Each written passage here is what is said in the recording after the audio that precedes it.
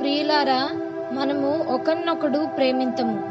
ఏలయనగా ప్రేమ దేవుని మూలముగా కలుగుచున్నది. ప్రేమించు ప్రతివాడును దేవుని మూలముగా పుట్టినవాడై దేవుని ఎరుగును.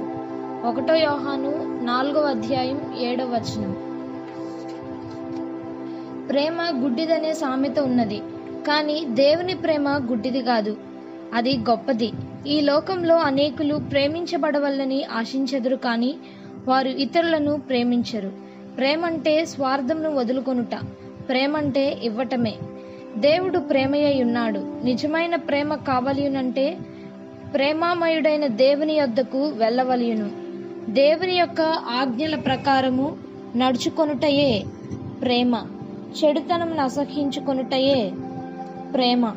లోకంలోని సినిమాలలోనూ నవలలోనూ కనబడేది కాదు గాని అది కేవలము ఇచ్చయే. అనేక మంది ఈ ఇచ్చనే ప్రేమనుకొని మోసపోచున్నారు. నిజమైన ప్రేమ స్వప్రయోజనము కోరదు. ప్రేమ సాకులు చెప్పదు. ప్రేమ డంబముగా ప్రవర్తింపదు. గొప్పలు చెప్పుకోదు. అపకారము మనసులో ఉంచుకొనదు. అనవసరంగా కోప్పడదు. అమర్యాదగా నడవదు. పాపం విషయంలో సంతోషపడదు. ప్రేమ ఉన్న చోట అసూయకు స్థలము లేదు. ప్రేమ దయ చూపించును సత్యమునందు సంతోషపడును అన్నిటినీ ఓర్చుకొనును అన్నిటినీ నమ్మును. ప్రేమ లేనివాడు మరణమందు నిలిచి ఉన్నాడు అంటే ప్రేమ లేనివాడు రక్తము లేని వాడితో సమానుడు. రక్తము లేని వాడిలో ఏ కళయు ఉండదు. అలాగే ప్రేమ లేని వాని ముఖము ముడుచుకొని ఉండును.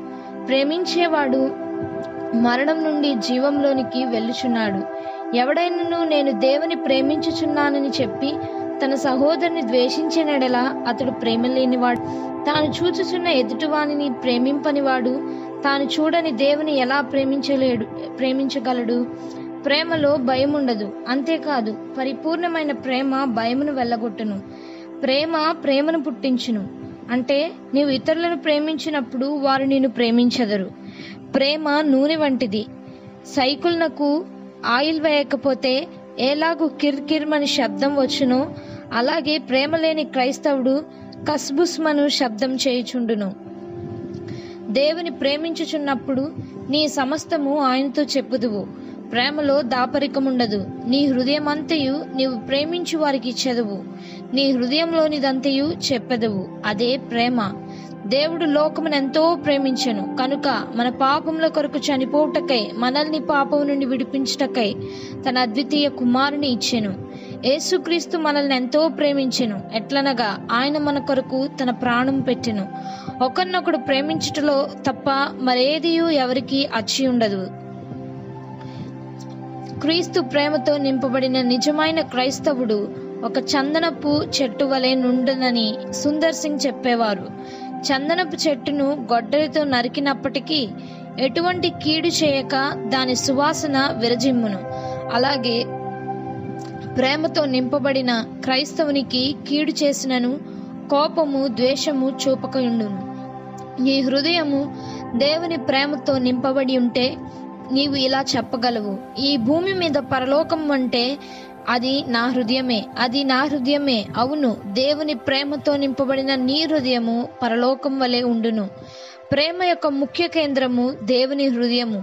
అది సిలువ ద్వారా మానవుని హృదయంలోనికి వచ్చి ద్వేషకులమైన మన హృదయములను క్రీస్తు ప్రేమతో నింపును. ఇది దేవుని దగ్గర నుండి సిలువ ద్వారా పొందవలసినదే. ఈ దినమే ఆ సిలువ దగ్గరకు వెళ్ళి మోకరించి సిలువ ప్రేమను దయచేయమని అడుగుకొనుము. ప్రేమ అనంతమైనది. దాని పొడవు వెడల్పు ఎత్తు ఎంతో తెలుసుకునవలనంటే ఆయన బిడ్డల సహవాసంలో చేరి దాన్ని పరీక్షించవలెను. క్రీస్తు ప్రేమను తెలుసుకొనుటకు ప్రార్థించుదము. ప్రభువా ప్రేమనిమ్ము.